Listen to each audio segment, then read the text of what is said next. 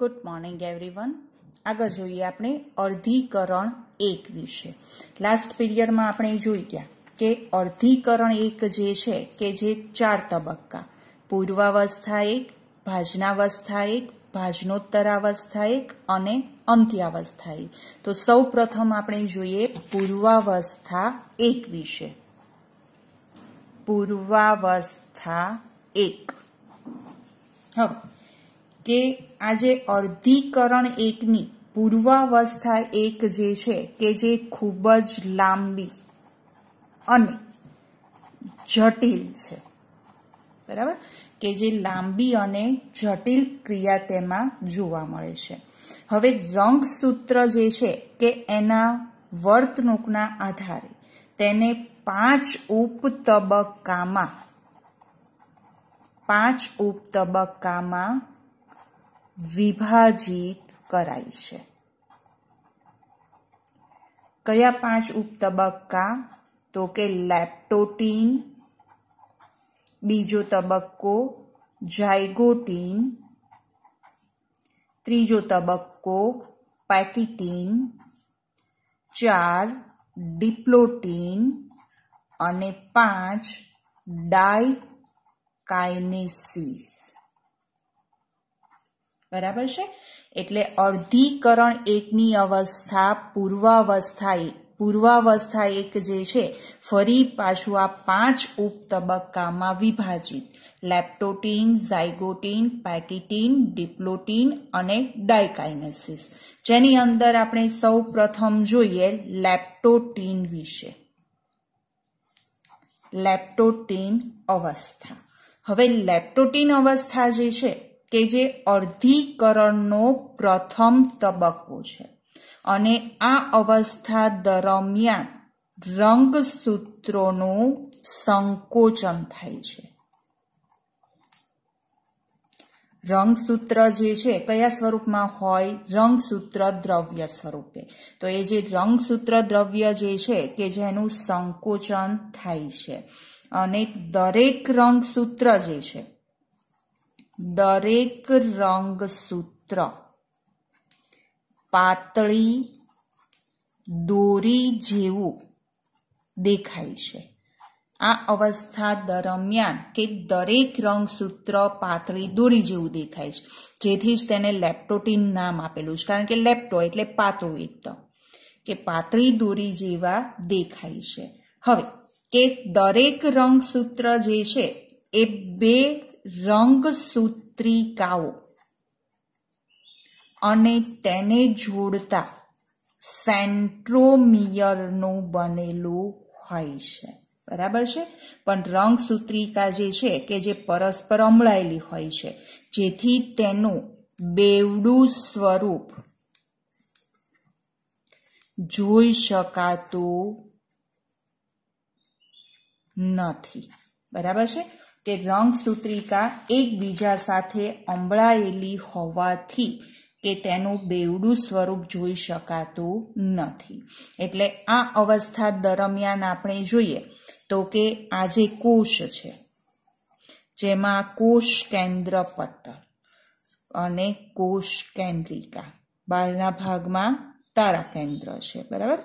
હવે રંગસૂત્રનું સંકોચન થાય છે. અને એ સંકોચનના પરિણામે કે રંગસૂત્ર જે છે, એનું સ્વરૂપ કંઈક આવું જોવા મળે છે. એકદમ પાતળી દોરી જેવા જોવા મળે છે. એકચ્યુઅલી સ્વરૂપ કેવું હોય છે? બેવડું સ્વરૂપ, એટલે કે દ્વિસૂત્રી હોય છે. પરંતુ રંગસૂત્રિકા જે છે, એ બે રંગસૂત્રિકા એકબીજા સાથે અમળાયેલી હોય છે.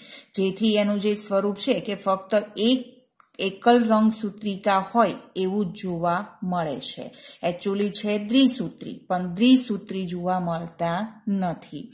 એટલે રંગસૂત્ર દ્રવ્યનું સંકોચન, જેમાં પ્રત્યેક રંગસૂત્ર પાતળી દોરી જેવા દેખાય છે. જે બે રંગસૂત્રિકા અને તેને સાંકળતા સેન્ટ્રોમિયરનું બનેલું હોય છે. બરાબર છે? ત્યારબાદ જોઈએ. બીજી અવસ્થા લેપ્ટોટીન પછીની અવસ્થા. કઈ આવશે બીજી અવસ્થા જાયગોટી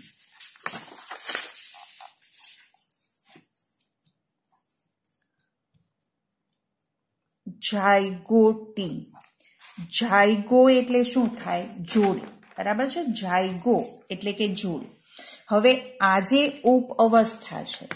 એ દરમિયાન કે જે રંગસૂત્ર છે, એ રંગસૂત્રો લંબાઈને અનુરૂપ. જોડીઓ બનાવે છે. બરાબર?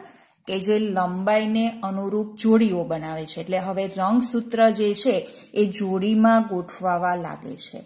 અને આ જે જોડી રચતા જે રંગસૂત્ર છે, જેને સમજાત રંગસૂત્રો તરીકે ઓળખાય છે. સમજાત રંગસૂત્રો જોઈએ આપણે આજે કોષ કોષ કેન્દ્ર પટલ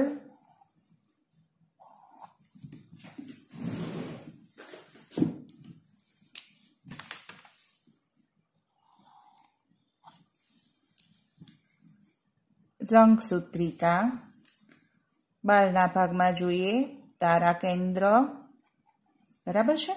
હવે રંગસૂત્ર લંબાઈને અનુરૂપ જોડીઓ બનાવે છે. એટલે સરખી લંબાઈ ધરાવતા રંગસૂત્ર જે છે, હવે જોડીમાં ગોઠવાઈ જાય છે. આવી રીતે પ્રત્યેક રંગસૂત્ર જે છે કે જે જોડીની અંદર ગોઠવાઈ જાય છે. ખ્યાલ આવ્યો? હવે આ જે જોડીમાં રહેલા જે રંગસૂત્ર છે, એને સમજાત રંગસૂત્ર તરીકે ઓળખાય છે. અને આ જે સમજાત રંગસૂત્રની જે જોડીઓ છે, કે જેમાં બે રંગસૂત્ર જે છે, કે જે એકબીજાની નજીક આવે છે અને પાશ્વીય જોડાણ શરૂ કરે છે. બરાબર? કે પ્રત્યેક રંગસૂત્ર હવે એકબીજાની નજીક આવે છે. અને નજીક આવી એકબીજા સાથે પાશ્વીય જોડાણ શરૂ કરે છે. તો આજે પાશ્વીય જોડાણ શરૂ કરવાની જે ક્રિયા છે, જેને સાયનેપ્સિસ તરીકે ઓળખાય છે. સાયનેપ્સિસ પાશ્વીય જોડાણ. હવે આખી પ્રક્રિયા જે છે, કે રંગસૂત્રનું જોડીમાં ગોઠવાવું અને એકબીજા સાથે પાશ્વીય જોડાણ કરવા, એ આખી જીપરની માફક આગળ વધે છે. જીપર આપણે કેમ બંધ કરીએ તો સામ સામેના જે આરા છે, એકબીજામાં ગોઠવાઈ જતા હોય છે. તો આ જે આખી પ્રક્રિયા જે છે, કે જે જીપરની માફક આગળ વધે છે. અને આ ક્રિયા વડે કે જે સમજાત રંગસૂત્ર પરના જે કંઈ પણ વૈકલ્પિક જનીન હોય, એ એકબીજા સામ સામે ગોઠવાઈ જાય છે. દાખલા તરીકે આજે બે રંગસૂત્ર છે, કે જે જોડીમાં ગોઠવાયેલા છે. તો આજે સમજાત રંગસૂત્રમાં કે અહીંયા રહેલું જે જનીન છે, એનું વૈકલ્પિક જનીન અહીંયા હોય, આનું વૈકલ્પિક જનીન અહીંયા હોય. એટલે વૈકલ્પિક જનીન ધરાવતા હોય કે જે સામ સામે ગોઠવાઈ જતા હોય છે. બરાબર છે? હવે કે સમજાત રંગસૂત્રની દરેક જોડી જે છે, એને દ્વિસૂત્રી કહેવાય. ખરેખર આ જોડી જોવા જઈએ તો કેવી છે? ચતુસૂત્રી છે. બરાબર?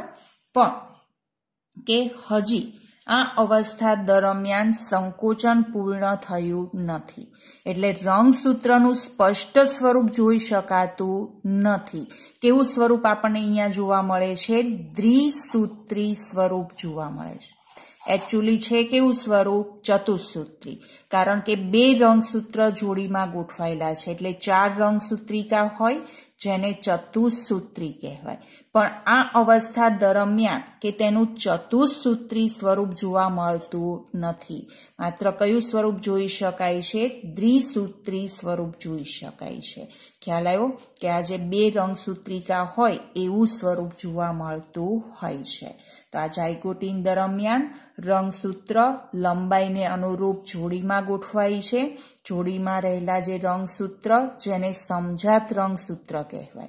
હવે ધીરે ધીરે એકબીજાની નજીક આવે અને પાર્શ્વ બાજુએથી જોડાણ શરૂ કરે, જેને સાઇનેપ્સિસ તરીકે ઓળખાય છે. બરાબર? રંગસૂત્રનું કયું સ્વરૂપ જોવા મળે છે? દ્વિસૂત્રી સ્વરૂપ જોવા મળે છે. ખરેખર હોય કેવું સ્વરૂપ ચતુસૂત્રી. પણ એ જોવા મળતું નથી.